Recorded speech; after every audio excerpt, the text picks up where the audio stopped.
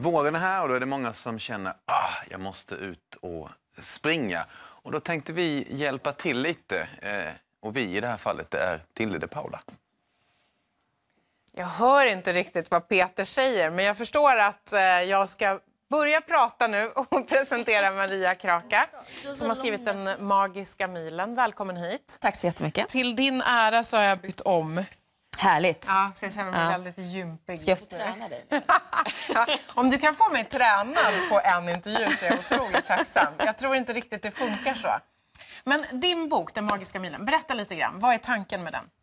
Tanken är att eh, jag ville göra en bok som eh, man som löpare kan ha användning av under flera år. Och man kan ha användning av den oavsett om man är nybörjare eller om man har sprungit eh, under flera år. Eh, så därför har jag skapat en bok som har tre olika träningsprogram som sträcker sig över ett år. För att jag tycker att löpning, ja, men just för att många liksom får de här programmen som bara är några veckor. Eh, och då blir det just några, ett några veckors projekt. Medan jag tycker liksom att ska man ge löpningen en ärlig chans så ska man faktiskt försöka se till att det verkligen blir kontinuerligt. Mm. Nu har vi tagit oss in till gymmet så jag tänkte så här, vi kan fortsätta prata men då gör vi det på liksom plats. Eh, jag undrar så här, ska, du säger så här, ska man, ge, eh, ska man ge den en ärlig chans? Ska man det? Löpning? Ja, det tycker jag absolut att man ska då? göra. Jag tycker, själv så tycker jag ju då att det är en extremt enkel och bra motionsform Mm. som alla kan göra, som är billig och eh, ja, som är extremt effektiv, alltså tidseffektiv. Och i dagens samhälle när alla har så ont om tid så är ju det, alltså det är fantastiskt. Vad är det som är magiskt med just milen då?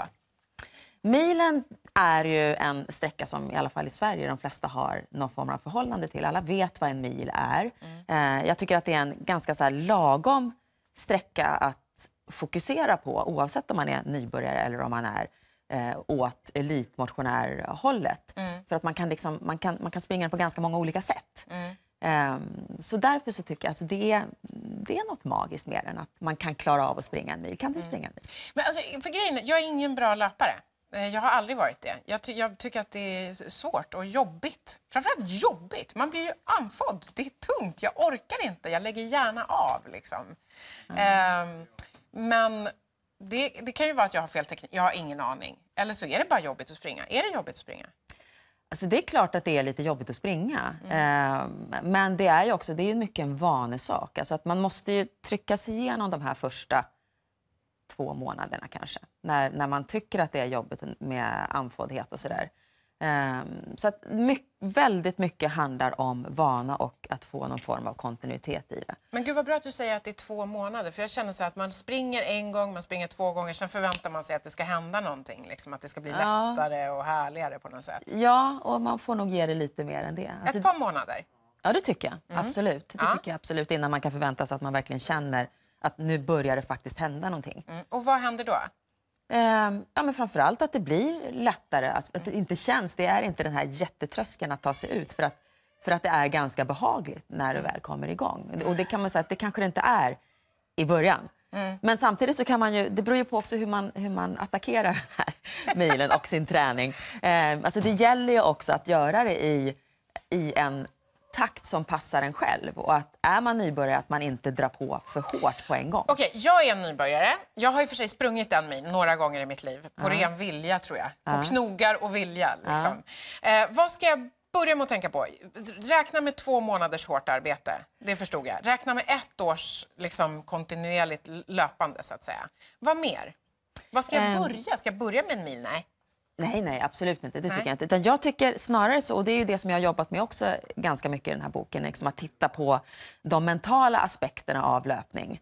Eh, för att jag tycker att det är en väldigt, väldigt stor del. Och framförallt om man ska börja med löpning, att man tänker på det mentala, att man ger tid till att arbeta även med det.